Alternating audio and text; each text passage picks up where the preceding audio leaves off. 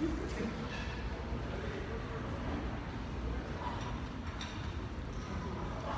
しさんこんにちは。今日はさっきまで講座やってたんですよ。でなんかだからえっ、と何時からだろう。10時違う。11時くらいからずっと喋りっぱなし。喋りっぱなし喋ってる。でもなんか幸せな一日ですよね。喋りっぱなしの一日。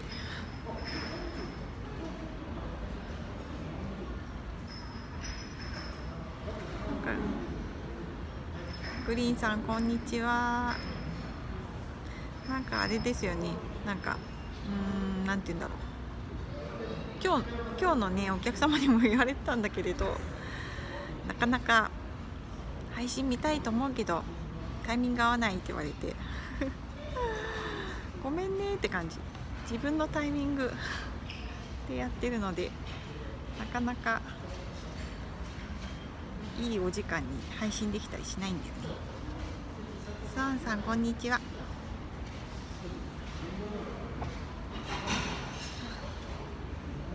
りがとうございます。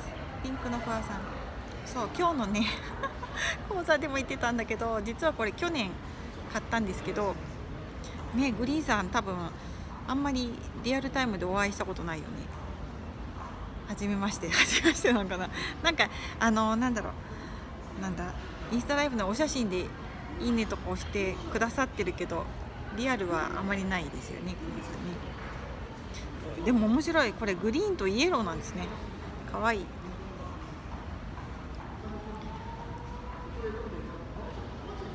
そうそうそう。何の話したっけと思ったんだけど洋服。今日ちょうど、えっと講座でもね洋服の話をしてたんですけどなんかこの緑のワンピース着るの実はあのー今年2回目なんですよ。でねそうだ。なんかなんか 始まってから脱ぐのちょっと恥ずかしいんだけどちょっと脱いでみると結構これ開いてるんですよ。ほら。結構開いてて恥ずかしいんですよ。緑の服自体が結構恥ずかしいのにこのこの大胆な感じがまた恥ずかしくって。へえあそうなんだ。お名前変えたんですね。キャンキャンそうキャン。そう さっきねさっきもムーモンさん一緒にいたけどなんかこのキャーキャーっていう格好しなかったもんね。そう。そうなんですよ。結構背中もここまでがっつり見えるのか履いてます。履いてるんですよ。まあこんな洋服は去年は一個も着てません。あ去年去年から着てるんだ去年夏初めて着たんだよこういう服を。もう絶対背中なんか出せない。怖くて。だしそう。あでもねここで今キャーとか言ってる方は絶対これやりたい人だと思うのでやってください。あのだからほら腕出して肩出して背中出して、45歳まだまだ大丈夫よ。なのでえっと50代も大丈夫。もう30代なら全然大丈夫。でなんか私多分本当にあの体型とか顔顎のラインとかは変わったと思うんですよ。それはあのまあ一つはね絶対あのストレスを減らしたってことはあるんだけどあの出したから。ねだだねみんな結構反応してくれるじゃない。えー、はみ出る肉？あるよ。あのー、なんかたまにやっぱりちょっとねちょっとカットが違うやつ自分と合わないカットしてるやつだとなんか腕太く見えるもん。だからね結構いろいろ着てみた方がいいと思うよ。あの着れる範囲から。うん。え犯罪じゃないムミモンさん。ねだからピンクのフワさんもそう。こういう服好きなら着て。でやっぱりなんかねちょっと恥ずかしいからこうやって隠すもの持っちゃったりして着てください。あないとかいやいやあるあのあるあるしなんだろう。だんだん減ったんだよ本当に。あのなんかね膝の上にお肉も乗ってたんだけど出してたら減ってきた。何を出したの？うんとえいろいろうんと足も出したことなかったしうんあのだから腕だって出したことなかったし半袖着てた。一昨年まで絶対に。そうそう。ノースリーブも勇気なかったよ。そう。あでもねそうそう。あの出してる友人がすごく羨ましかったの。胸の谷間とかばっちり出してるとかこういう洋服を着てる友人がすごく羨ましくて羨ましいってことはやりたいってことだしだから45歳にして出すのすごい恥ずかしかったの。なんだけど出したいんだなと思って出すことにしたの。今から青春謳歌しようと思って。出すことにしたんだよ。そう。やって。あもう本当に私あのビフォーあビフォーアフター本当に出したい。今度出すね。インスタで。あの5年前とか。だから5年前ってさほら絶対若いはずじゃん？だけどめっちゃパンパンなの。全部が。顔もパンパン腕もパンパンなの。なんか全身の写真は残あんま残ってないんだけど。すごい5年前の当時すごい自分がいいと思ってホームページに使ってた写真ですらパンパンなの。そうだからみんなによく言われるのが「ゆうこさん若返ったよね」ってよく言われるんだけどほんとそう。だよ。みんなで出そう。でなんかなんだろうな私はな今日のそうそう、うん、楽しみにしててビフォーアフターあの今日のねなんかあの講座でも言ってたんだけどなんか私はえっ、ー、とうんうんあ出す出す。全然あのブログには出してるんだよ。だけど別にインスタにインスタ最近やり始めてばっかりっていうのもあってなんか出してなかったんだけどうんとだ怖かったしね出すのね。こんな洋服ありえないと思ったしね本当は着たかったけどそういう世界が自分の世界の中にあるとは思ってなかったのよ。私何の話この話し始めたんだけ？どそう。あのね着てみたら本当に快感よ。私もうそうそう。私ずっと思ってたのが女に生まれてよかったって思ったことがないってずっと思ってきたわね。ずっと男に生まれればよかったと思ってきて。だから全然なんだろう洋服を楽しむとかお化粧を楽しむとか着飾るとか多分本当に変換じゃない艦隊だから絶対あったはずなのに埋もれさせてきたんだよ。まあ母の影響もあるんだけどさなんかあのお母さんあんまり着飾るっていうタイプなんかひっそり着飾るタイプだったんだよ。目立って着飾るタイプじゃなかったしなんかおしゃれをなんか喜んでくれなかったわね娘のおしゃれを。昔なんだろう。ピアノの発表会があってね。でピアノの発表会だからさ可愛い洋服を着るわけよ。そしたらなんかあれが欲しいって言ったらダメって言われてまあ今思うにあの可愛さを喜んでもらえないんじゃなくてそこにかかる費用でダメ出しをされたんだと思ってるんだけどでも当時の小学校1年生くらいの私としてみれば私が喜ぶその可愛い姿なんかでもフリフリのすごい薄い紫のワンスピースだったのを今でも覚えてるんだけどそういう可愛い格好をすることは母には喜ばれないって禁止になっちゃったんだよ。もうちょね未だに思うんだけど私は本当にお母さんのこと好きだったんだなと思って。母大好きでしたね。だから母から喜んでもらえない私はダメみたいな。封印みたいなね。だから美しさも封印。してきました。でこ,、ねま、この洋服では言ってないんだけどこの前オレンジの洋服で母に会いに行ったらまた派手な格好してるって言われてやっぱちょっとキュンってきたんだけどキュンっていうかギュッてきたんだけど。でねでなんかまた帰りも言われたの。出会い頭にまた派手な格好してるって言われてでちょっと渋い顔されて帰りにもなんか言われたんだけどなんか言った私が言ったのがなんか私はもう別になんか目立つことが商売だからって言われ言って。でなんか私はやってなんかねすごい父と母がなんかその頑張って階段を上ってる姿を見てでやっぱりしんどいでお父さんもしんどそうよねとか言ってお母さんが言ってて。でなんか今になって自分のお母さんおばあちゃんのね気持ちが分かるってしんどいって言ってた気持ちが分かるとか言ってて。でなんかそれを聞いた時にうんでね私もねやっぱりいいつかそっちに近づくおばあちゃん体が肉体が動かなくなってくる。方に近づいていくからその時にああすればよかったこうすればよかったって思わない生き方をしとくねって。うん。そう。でさなんて言うんだろう。子供の頃のそういう傷つきってさなんて言うんだろうな、まあ、勝手に覚えちゃってるわけよ。あの絶対いろんなところで愛情を感じてたはずなんだけどそこら辺はもう都合よく覚えてないわけよ。なんせ親は神様で親を喜ばせたくて生まれてきちゃってるもんだからちょっとその親が悲しい顔しちゃったりとか強く言っちゃったりしたことはもうてきめんに覚えちゃってるわけよ。そして、まあ、魂磨きをしていくわけですよ。そういう仕組みです。じゃあなんか今日も本題に入りたいと思います。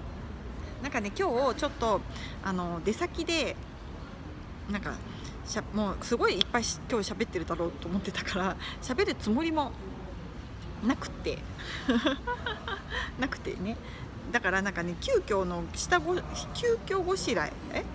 急遽しこしらえたものだからなんかえっ、とちょっと見にくかったらごめんって感じで自分が喋りたいから喋っとくねって感じです。で今日のうんテーマはまあ私は本当にこの人でいいんだろうかみたいな。この夫でいいんだろうか。本当はこの人じゃなくて別のこの人じゃないんだろうか、うん、っていうところにちょっとお答えしたいなと思って。なんかえっとやっぱ結私もね本当に結婚して18年目なんだけれどなんかずっとこの人でいいんだろうかっていう問いをこうずっと握りしめてきたわけよ。でそうするとなんかねやっぱり力が入んないんだよね。決めてないから。いいんだろうかって宙ぶらりんな状態でいるから決めてないから他のことにエネルギーが注ぎ込めないんで自分を生きることとか。注ぎ込めなかったなと思ってそれをなんかこの人にするのかしないのかっていうところをパシンって決められるとすごくエネルギー通るなってそれは、えっと、とっても怖いことでもあるんだけれどあのこの人なのかそうじゃないのかっていうのを市中水面でデータで見ちゃうとで納得できちゃうとね納得できなかったらできないでいいんだよ。納得できちゃうとなんかもう決めればいいじゃん。人間の意思で。っていう今日お話をしたいなと思います。でね。うんと。うんどっから行こうかなうん、でなんかやっぱりその鑑定とかやってると結構やっぱり多いご相談が、あの不倫とか浮気も結構多いんだよ。あの結婚を悩んでるっていうご相談も多いけどなんか、えーと、不倫浮気をしてます。どうしていいかわからないっていう相談どっちを選んなんか彼を選んでいいのか夫を選んでいいのかわかんないっていう相談も結構あるんだよ。うん、ででまあそういう時ってなんかうーんまあだからパートナーシップ診断してみたらいいと思うの。でえっ、ー、と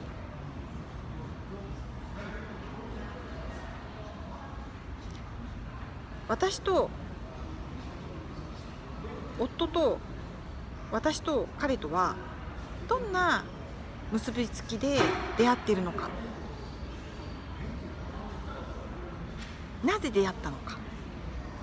なぜ彼に惹かれるのか？なぜ夫を選んだのか？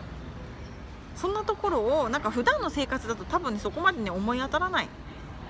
だけどなんかそこが見えちゃうとすごい楽だろうなって思って。うん。はい。じゃあ行くね。なんかどっから行ったらいいかな。なんか結論から言っちゃうとつまんないね。結論は一つ明白なんだけどさ。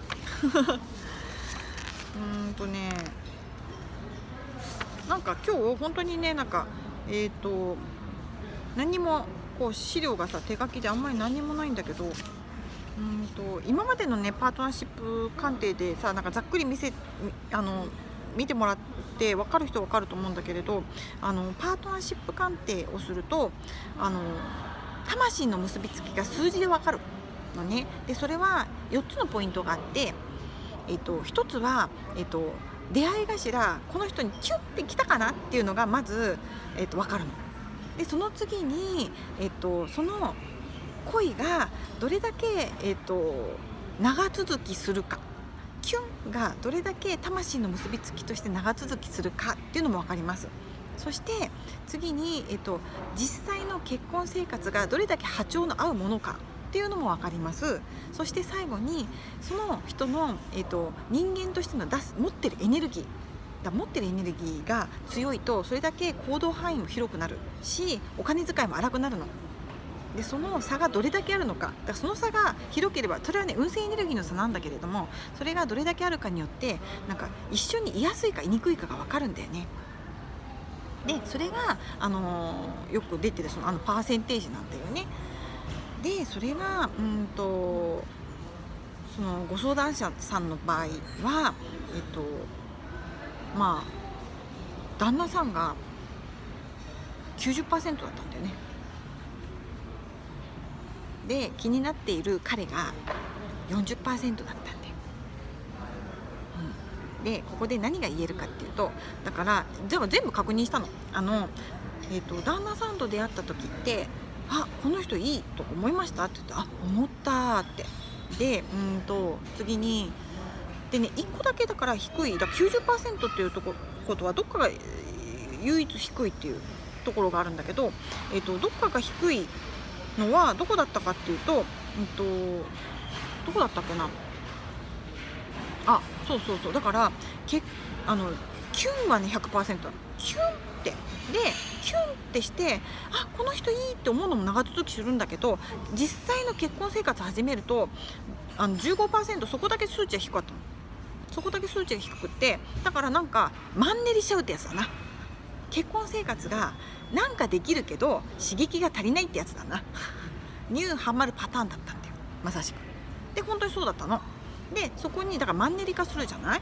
マンネリ化するとあの、まあなんかそのまま衰退していくかえーと、エネルギーがあれば他の方に向くかっていうそういう問題なんだよね。でなんかねうんとパートナーシップっていうのは段階があるんだよ。でうんとパートナーシップに限らず人間の成長っていうものには段階があるの。でそれはビジネスにおいても何でもそうなんだけれど人生には春夏秋冬があるんだよ。うん、で、えっと、必ず、えっと、何か始めたこと結婚でも仕事でも何か始めた最初は春なんだからウキウキするの。楽しいの。一緒にいるだけで。で夏が来て燃え上がるのよ。だけど秋も来るの。秋が来てなんかあのだ子供ができるみたいな感じかな結婚だと。実りがある。なんか成果がやってくる仕事だったら成果がやってくるってなってでもそこで一旦季節は終わるの。冬になるんだよ。仕事であっても結婚であってもほとんどの人たちは春夏春冬があってあの正常ならば冬が来るの。あのなんかまあグレーの世界って言ったらいいのかな。もう一度見直さないと春を迎えられない時期に来るんだよ。でえっとあれ名前当てだと思うんだけどあのチャック・スペザーノさんっていう博士がやってるビジョン心理学ではデッドゾーンって言ってあのだから、まあ、死んだような気分になる状態の時がやってくるって言ってそれは、えっと、成熟して当然のことなのね。飽きて当然なの。人間ってやっぱり好奇心の塊だからえっと見えちゃったこの人の全てが分かっちゃった気になって飽きて当然の時期がやってくるんだよ。仕事でもよ。同じ。みんなそれは経験してんじゃないかな。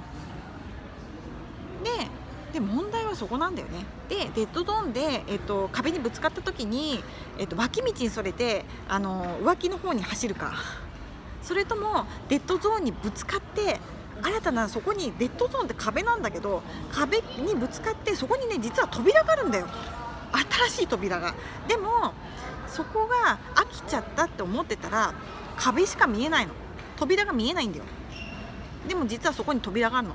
あのだからステージアップの扉があるの。でもステージアップするためにまず最初に壁にぶつかる必要があるんだよ。飽きたっていう現実を受け止める必要があるの。でこの人このこと知ったつもりになってた。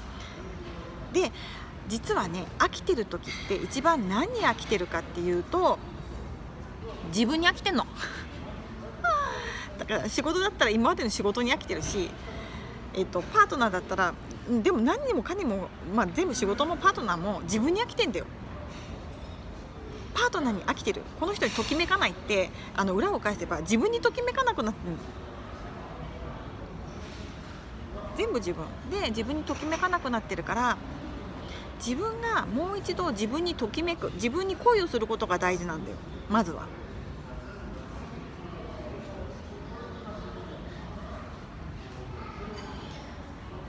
あのさだってさ自分にときめいて自分がルンルンだったらさパートナーシップって絶対良くなると思わない？自分に飽きてるから他にあの求めに行くだけで。自分に飽きてなければ全部あの花が咲いてるから蜂が勝手にやってくるんだよ。でその蜂の中に一番本当は酸いも甘いも知っている自分の全てを知っている旦那さんっていうのも入ってくる。うん、だからそこの仕組みを知ってればあのすぐ浮気っていうふうには本当はなんないんだけどね。うん、だってねなあの浮気あの浮気するっていうか飽きて他のとこ行くっていう状態でね。本当の本当にこの人だっていう風に見つけていく場合もあると思うんだけどでも大体それって錯覚なんだよね。そのあのなんていうんだステージの低い春をもう一回迎えようとしちゃってんの。ステージアップに行かないんだよ。だってステージアップってそこの全部のゾーンを知って新しいなんかもっといい自分になるってことなのにあの飽きて外に行くって同じ自分でいるからさ。あの状態がだから同じような人としか出会わないんでまた飽きるんでだからなんかほら自分が変わらなければ、あのー、恋愛で変わらないとか結婚とか変わらないとか仕事が変わらないって言ってるのそういうことでやっぱちゃんとそこの壁にぶつかって飽きたっていうところをもう一回自分で見つめないで自分をもう一回ステージアップすれば同じ夫でも夫もステージアップするんだよ。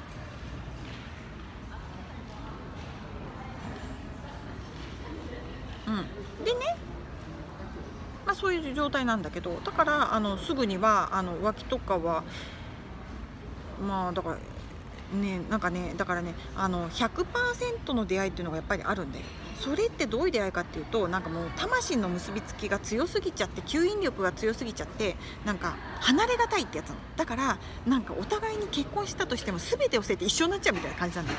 だそこまでの吸引力があったらもう抗えないから私もしょうがないなと思ってんだけどそういう出会いがあったらねしょうがないなと思ってるんだけれどそうじゃない。だったらない。出会いだとしたらどんな出会いかみたいなで彼彼とじゃあどうだったかその方はどうだったかっていうと実は相性40%だったんだよ。で彼とはちょいちょい会う程度だったのね。だからあの恋心は100%だったの。うわこの人なんか素敵。みたいな100%だったんだけどあのよかったんだけどあのもしこれがちょいちょい会うんじゃなくてえっと恋人同士になったら恋が続かないかもっていう結果だったんだよ。で結婚生活はうまくいくかもしれないけどエネルギー値お互いのお金遣いとか行動範囲とかも全然違うからだしあの円錐力っていうのも全然一緒に重ならなかったからまあそういう結婚生活とかそういう恋人生活を望むんならいいけどあの無意識の行動が全然違うから一緒にいられない関係性である可能性が高い。占いはあくまでも可能性の一つだからただ信憑性の強い可能性の一つだからそういう可能性が強いっていう恋人関係になったらあの長続きするのがちょっとあの意識的にやらないと無理だし一緒にいようと思ったら意識的に何かを働きかけなければ一緒にいにくい関係だっていう可能性が高いっていうデータが得られたんだよ。でそれを伝えた時になんかそんな気がするってで彼女は90%を信じてみる。今までやっぱりこの人でいいのかなって。夫のことね。この人でいいのかなって。本当に私の相手ってこの人なのかなって飽きちゃったから。思ってたけど。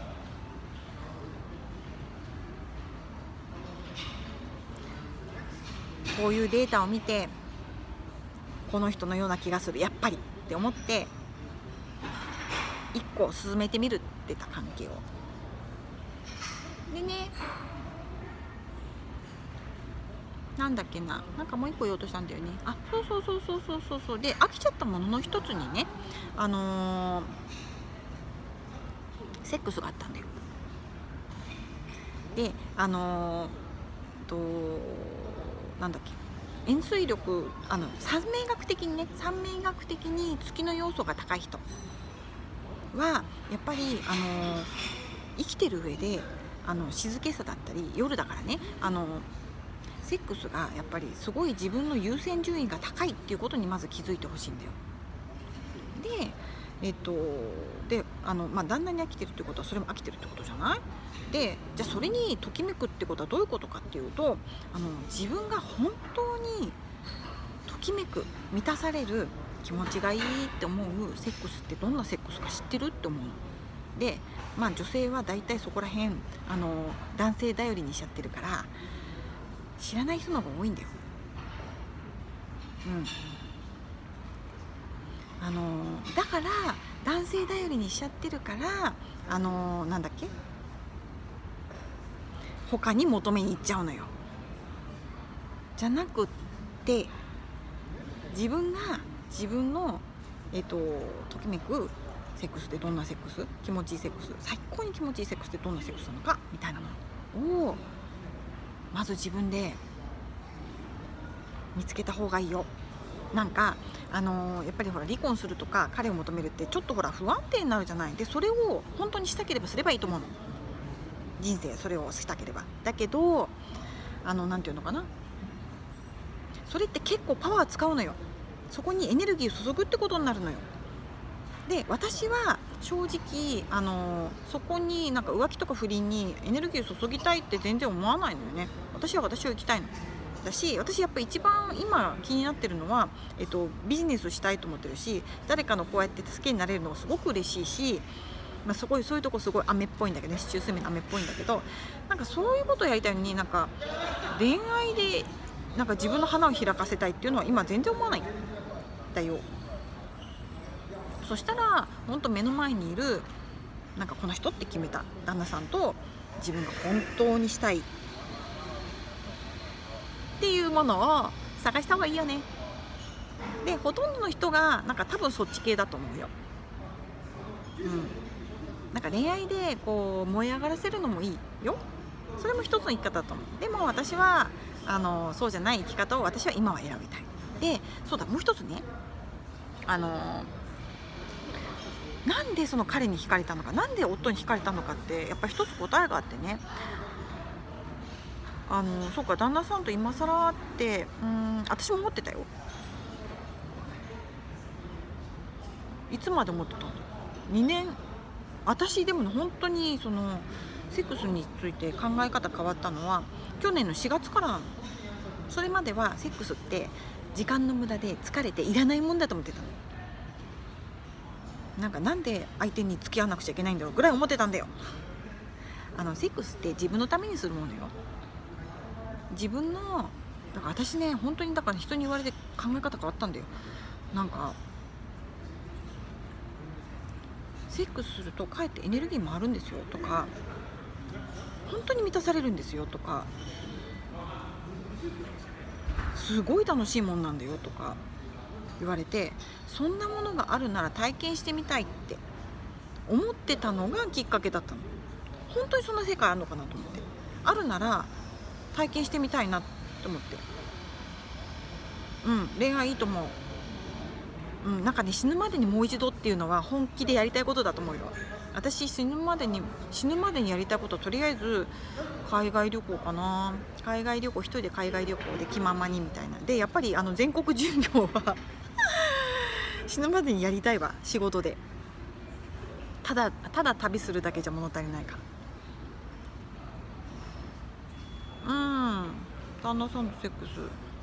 私したいと本当に去年の4月まで思ってなかったよね。義務だった。こんなん言っててかわいそうだね。今は全然違うようだから変われるもんだなと思うし変わるもんだなと思うし本当に自分が世界を作ってるんだなってしみじみ思う。なんかそこは結構本当性のお話は本当に何だろう。深いよね。話そんな簡単に話せることじゃないじゃない？だから深いなと思うしすごく一番ゲトックスになるなと思う。うん。そあのね多分性のことはあの機械を見て向き合ったらすごい抜けるよ。抜ける。でなんだっけそうそうそうそうそう元に戻り。なんで彼にうんと彼のこといいなって思ったかっていうと丸かぶりだったのがあのお母さんだったんだよね彼女の彼女のお母さんとなんかいろんなことが似てるの。あの艦隊持ってることとか死星が自立星被験だったりとかだから彼を好きななったのってなんか本当にいろいろ似すぎてて彼を好きになったのってえっとどこかお母さんの面影やっぱり重ねてたんだよね。だけどあの彼とは重ねてはいるけどお母さんはめちゃくちゃあの地中水面的に見ても彼女の守護神なのね。もうピンチの時でも何にでもエネルギーでも何でも与えてくれるのがしかもちょっとねあのべったりじゃないの。いい距離感で与えてくれるのがお母さんだったんだけれど彼は本当にあのちょっと人間的な性格で言えば引き合うしもう母の面影もなんか全部いろいろ似てる生命あのなんていうの星的にも。なんだけどでもあの市中水明のデータ的にはあの何もくれないよっていう。でもなんかねそんなの見たらねすごいすっきりしたみたい。やっぱり母の面影を追いかけてたんだなって。私もそうだから。あの今の夫をあの夫と出会ったのってやっぱり母の愛をなんかもう一回なんかこう何て言うんだろうリコネクトするって言えばいいのかな。なかったものあるとするみたいなのになんか多分夫を付き合わせてんだろうなみたいな。感じがある。のでなんかそういうなんだろう星を見てなんでこの人と出会ってるのかとかどんな関係性になりたいのかとかあの今夫とこうだけど実はこうだったみたいなそう実はこうこういう意味で出会ってたって思い出すのに市中水明はすごく役立つなと思うからなんかそういうもうだ夫との関係だからちょっとかなり怖いよ。かなり怖いんだけどもう結果出したいみたいな。人は市中水明いいと思うよ。そう。そうね。あのあやちゃんじゃないけど私もピンクの話は得意だし本当にだあやちゃんと出会って車の中で喋ってたんだけど本当に去年の4月までは私にはせ私の人生セックスはいらないと思ってたから。あのそこを封印してる限りはとりあえずお金とも縁がないよ。しあの女も生きられないから。あのねやっぱりセックスってあの自分の一番醜かったり恥ずかしかったり怖かったりするものの全開放なんだよ。委ねるだしね。欲を出すだしね。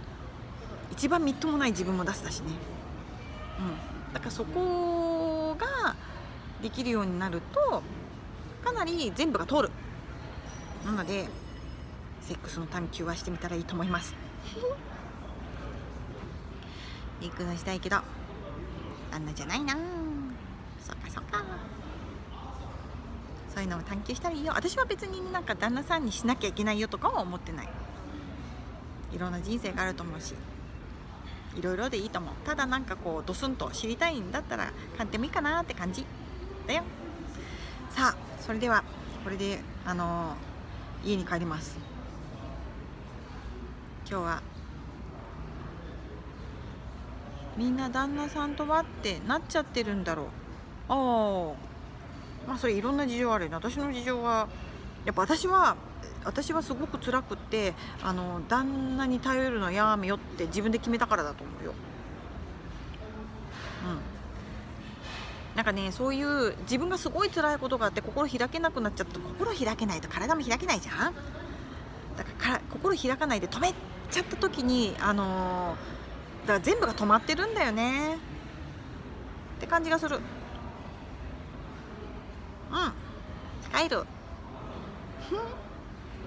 皆さんありがとうございました。じゃあねまたね。